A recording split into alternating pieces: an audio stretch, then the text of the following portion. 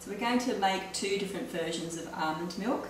The first version is where we soak the nuts overnight in cold water and it would be half a cup for half a litre or one cup for a litre of almond milk. The other version is where we soak for half an hour in boiling water. The first version is we're just using the uh, cold soak. So they've been soaked overnight and been drained and rinsed. So we're just going to put them into the blender.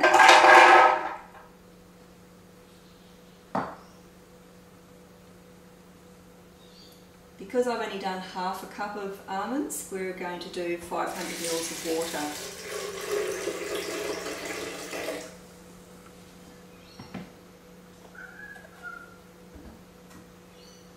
And it's just a matter of making a little bit of noise.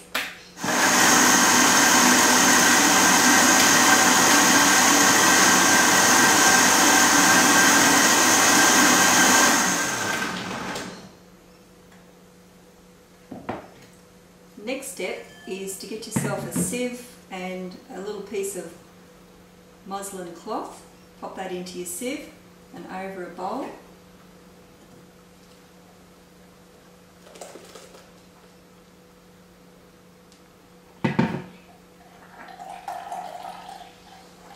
You can help it through a little bit with a spoon.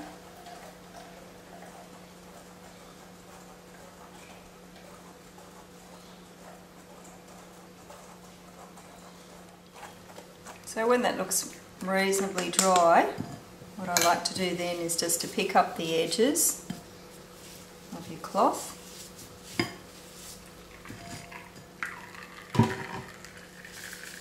And just give it a little squeeze through. You can see it's nice and creamy.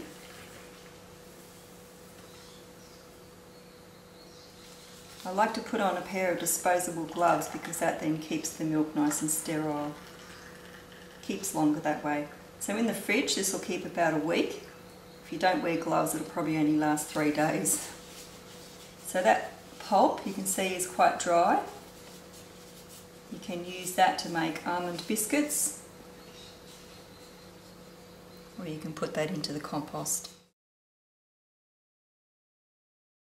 Okay, we're now going to make the second version of almond milk, which is using the boiling water to soak the almonds. So this is a good one for uh, just doing in the morning as opposed to soaking overnight. You just boil your water, put that onto your half or one cup of almonds, half a cup of almonds for half a litre of almond milk, or one cup of almonds for a litre of almond milk.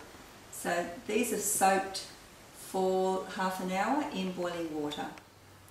Now that they've been soaked for half an hour in boiling water, you can see that the skin slip off quite easily.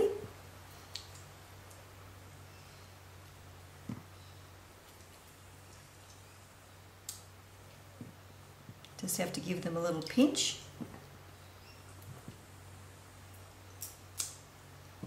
In the time that it takes for the soak to do its work, it's obviously cooled down enough for me to stick my fingers in this bowl of water.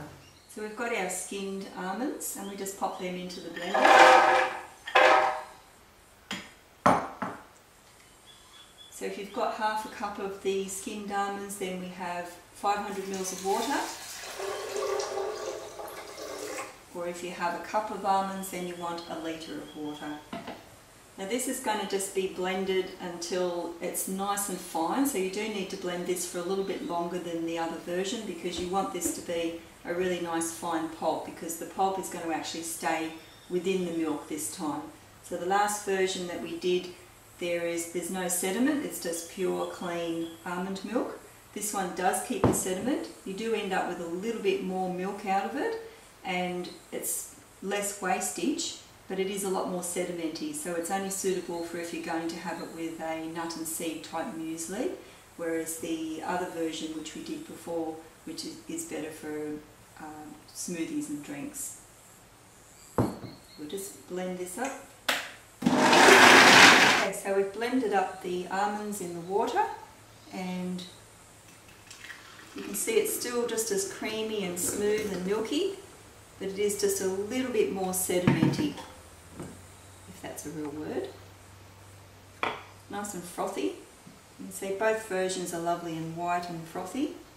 This just has a little bit more grit in it. So it's very good for having with muesli and a lot less waste.